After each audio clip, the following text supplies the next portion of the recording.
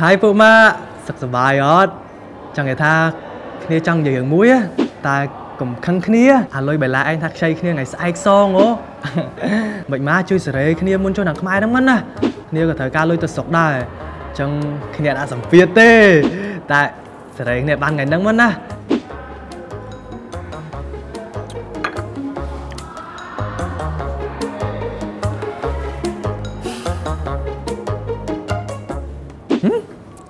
ចុំ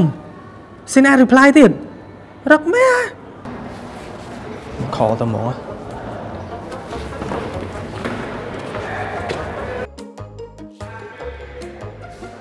អាឡូបេឡាអឺ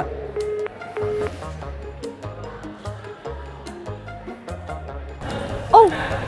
ខំមកទៀតទេអើយបើមានលុយសងហើយនេះអឺហ្នឹងហើយបេឡាបេឡាបេឡាបេឡា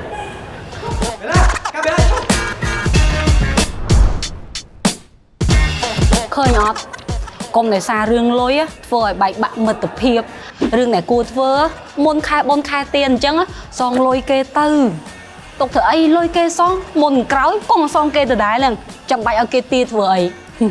ពេលយើងសងលុយគេហើយ á, បង្កើតបរិយាកាសច្បាយរីករាយហូបអីជាក់ជាក់ជុំគ្នាហើយស្រីសុស្ដីចូលឆ្នាំថ្មីហេងហេងទាំងអស់គ្នា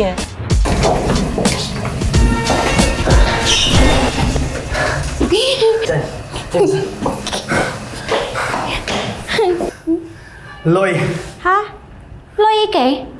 លុយបៃឡាឯងទៅពាក់ខ្ញុំមកអាថាស្អែកសងនេះតាំងចូលតាមចិត្តដល់ចូលតាមខ្មែរនេះឯកាណាសងហ៎អូ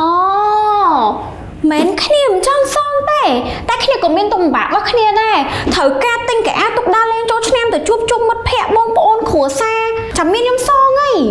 ហើយកាណាមិនមានចុះ ចិត្តមានទេតាអឺសុំប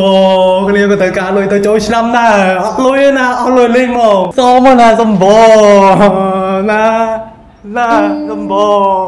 ក៏បានសងក៏បាន